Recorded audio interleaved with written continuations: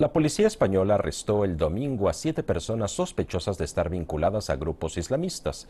La operación tuvo lugar en las ciudades mediterráneas de Alicante y Valencia y en la ciudad norteafricana de Ceuta.